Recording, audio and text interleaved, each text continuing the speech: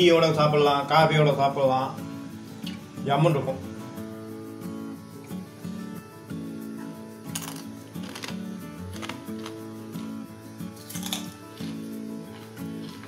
ரொம்ப நல்லா இருக்குப்பா. எல்லாரும் எப்படி இருக்கிறீங்க? நலமா இருக்கிறீங்களா? நீங்க எல்லாரும் நலமுடன் இருக்கணும்னு நான் இறைவனிடம் பிரார்த்திக்கிறேன். என்னப்பா பண்ண போற? டம்ளர்ல மாவு பால் வெண்ணெய் என்ன பண்ண போறப்பா? லாக்டவுன் ஸ்நாக்ஸ் பண்ண போறேன். சரி. அது என்ன ஐட்டம் பண்ண போற இது என்ன மாவு? இது மைதா மாவு. சரி. ரெண்டு டம்ளர் மைதா மாவா? ரெண்டு டம்ளர் மைதா மாவு. அதுல ரெண்டு கப்புல பால்? இது தேங்காய் பால். தேங்காய் பால். இது பசும்பால். பசும்பால்? காய்ச்சி எடுத்து வச்சிருக்கேன். எடுத்து வச்சிருக்கேன். அது கொஞ்சம் கொஞ்சோண்டு வெண்ணெய் எடுத்து வச்சிருக்கேன். வெண்ணெய். தேவைக்கு தகுந்தாப்புல வெண்ணெய் போட்டா போட்டா போதும். மிக்சியில சீனி. சீனியை வந்து நைஸா அரைச்சி வச்சிருக்கேன். சும்மா கொத்து கொஞ்சோண்டு போட்டா போதும் இனிப்பு. ஓ சர்க்கரையை வந்து நுணுக்கி வச்சிருக்கேன். முடிச்சு வச்சிருக்கேன். அப்புறம் இது என்னப்பா அது? இது வந்து சோடா மாவு. தேவைப்பட்டா போட்டுக்கலாம். தேவைப்பட்டா போட்டுக்கலாம். சரி இது உப்பு தூள். இனிப்புக்கு கொஞ்சம் உப்பும் போட்டுருவேன் உப்பும் போட்டுக்க இனிப்புனா நிறைய இனிப்பு போட்டு செய்ய போறது கிடையாது. சும்மா ரெண்டு ஸ்பூன் இனிப்பு. ஏன்னா குழந்தைங்க வந்து இனிப்பை தான் விரும்புவாங்க. அதனால எல்லாம் லீவ்ல இருக்காங்க குழந்தைகள் எல்லாம் கொரோனான்ட்டு அதனால இனிப்பு இந்த மாதிரி செஞ்சு சாப்பிடுவாங்க. பரவாயில்ல. இப்போ செஞ்சு காட்டுப்பா. ரெண்டு டம்ளர் மைதா மாவு போட்டுக்கோங்க. ஓ சரிப்பா அளவு இதில். அளவு. இல்லை நம்ம எவ்வளோ வேணாலும் போட்டுக்கலாம். சரி சரி. நான் ரெண்டு டம்ளர் பண்றேன். சரி ரெண்டு டம்ளர் மைதா மாவு. சரி. சர்க்கரை வந்து சும்மா இனிப்பு கம்மியா இருந்தா போதும். பொடிச்சு வச்சிருக்கேன். ஒரு ரெண்டு ஸ்பூன் சர்க்கரை போட்டுக்கலாம். ஓ சரி. ரெண்டு ஸ்பூன். ஏன்னா ஒரு சிலர் இனிப்பை விரும்ப மாட்டாங்க. குழந்தைங்க பெரும்பாலும் வந்து இனிப்பு தான் விரும்புங்க. சரி சரி. ஆ. தேங்காய் பால் கொஞ்சமா ஊத்துனா போதும். மாவை பிசைச்சிக்கிறோம் அவ்வளவுதான். பிசைறதுக்கு தான் தேங்காய் பால். சரி சரி. பசும்பால் கொஞ்சம் தேங்காய் பால் பசும்பால் பசும்பால் டேஸ்ட் கிடைக்கும். டேஸ்ட்டுக்கா சரிப்பா. கொஞ்சோண்டு வெண்ணெய் போட்டுக்கலாம்? அவ்வளோ போதும்? வெண்ணெய். சரி. கொஞ்சோண்டு சமையல் சோடா தான் போடுறேன். சும்மா கொஞ்சோண்டு சரி. ஒரு சிட்டியா அவ்வளோதான். சுவைக்கு உப்பு. நம்ம- கொஞ்சம். உப்பு போட்டு தான் பண்றோம். இந்த ஸ்நாக்ஸ் சரி சரி சரி. சரி. அவ்வளவுதான். என்ன சப்பாத்தி மாவு பத்துக்கு பிசைவாப்பா ஆமா சப்பாத்தி மாவு பதத்துக்கு பிசைஞ்சுக்கிறாங்க.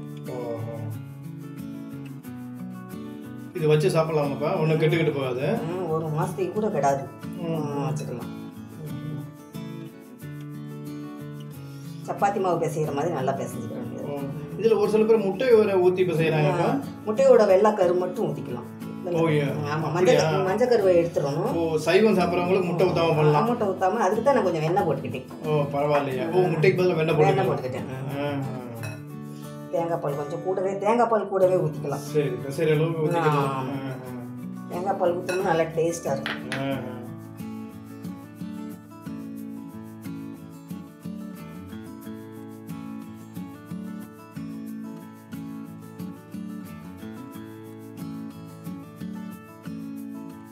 கையில் ஒட்டாம இருக்கிறதுக்கு கொஞ்சோண்டு எண்ணெய் ஊற்றி பிசைஞ்சுக்கலாம் ஓ கொஞ்சோண்டு எண்ணெய் கொஞ்சோண்டு எண்ணெய். சரி சரி.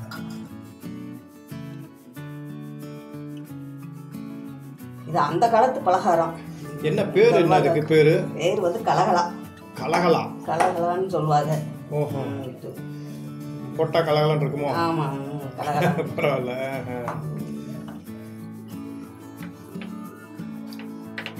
அந்த காலத்துல எல்லாம் அதிரசம் தான் மெயினாக இருக்கும். அதிரசம் முறுக்கு. அதிரசம் பார்த்தா இப்போல்லாம் மிஷின்லேயே அரைச்சிட்டு வந்துடுறாங்க. அப்போல்லாம் பார்த்தா ஆட்டை அம்மிக்கல்லில் போட்டு இடிப்பாங்க உலக்க வச்சு இடித்து மாவு சேர்த்து வைப்பாங்க. இப்போ மிஷின்லேயே அதிரசத்துக்கு அரைச்சிட்டு வந்து எல்லாம் சேர்த்துடுறாங்க. ஒரு சிலருக்கு செய்யவும் தெரியறதில்ல. அது பாகு ரொம்ப பக்குவமாக பண்ணணும் அதிரசத்துக்கு பாகு. அதனால வெளியிலேயே வாங்கிட்டு வந்து சாப்பிட்றாங்க அதையும் ஒரு தடவை செஞ்சு காட்டுப்பா. செய்வோம். நம்ம வீவர்ஸ்க்கு அதெல்லாம் செஞ்சு காட்டுவோம் நிறையா. மாவு இந்த பதத்தில் இருக்கணும். கலகலா போடுறதுக்கு. இப்போ இதை வந்து ஸ்லைஸ் போட்டுருவோம் சப்பாத்தி குழவி கழுத்துல அதில் தேய்ச்சி சப்பாத்தி மாதிரி தேய்ச்சி ஸ்லைஸ் போட்டு ஃபேன் காற்றுல கொஞ்ச நேரம் ஒரு அஞ்சு நிமிஷம் உணர விட்டு எண்ணெயில் போட்டு எடுத்தால் முடிஞ்சது கால் மணி நேரத்தில். கால் மணி நேரத்தில் வேலை முடியும். சப்பாத்தி தேய்க்கிற மாதிரி தேய்ச்சிக்கிறோம் இந்த மாவை இப்படி எடுத்து எடுத்து. இதுக்கு ஊறணுங்கிறதெல்லாம் அவசியம் கிடையாது மாவு.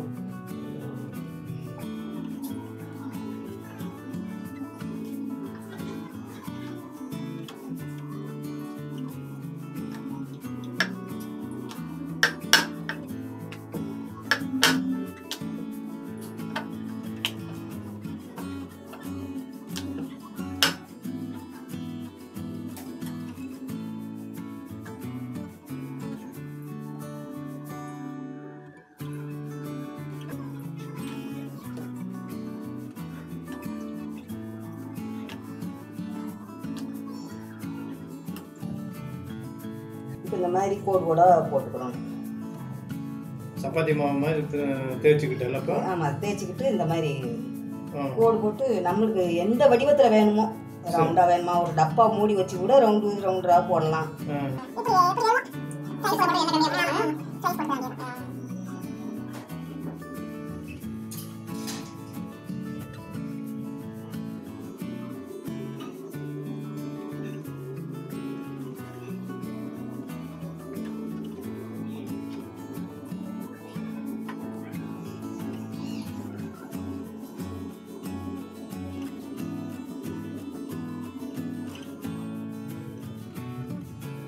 ஒரு அஞ்சு நிமிஷம் ஃபேன் காற்றுல நல்லா காய வச்சு எடுத்துக்கிறோம்.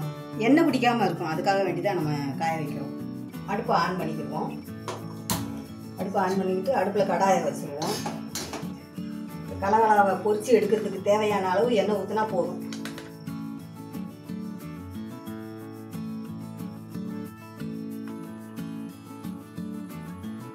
காஞ்சிருச்சுன்னா எப்படி இப்போ போட்டோம்னா மேலே கிளம்பி வந்துருக்கும் மேலே கிளம்பி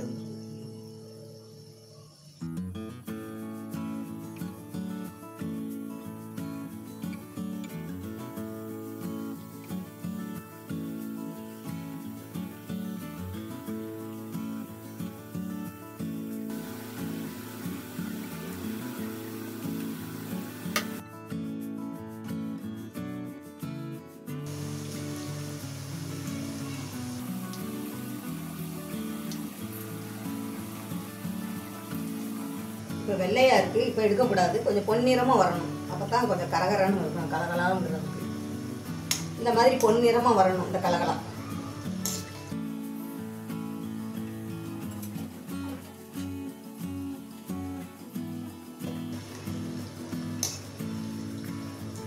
இப்போ இந்த இந்த பதத்தில் எடுத்துடலாம்.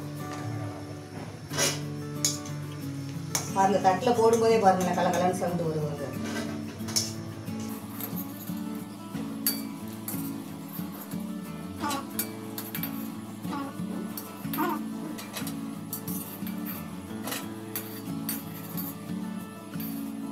ஒரு மாதத்துக்கு வச்சு சாப்பிடலாம். டப்பால் அடைச்சி வச்சுக்கிட்டோம்னா கெட்டு போகவே கெட்டு போகாது. அந்த காலத்து பாரம்பரிய கலகலா தயாராயிருச்சு. சாப்பிட்டு பாருங்கப்பா எப்படி இருக்குன்ட்டு.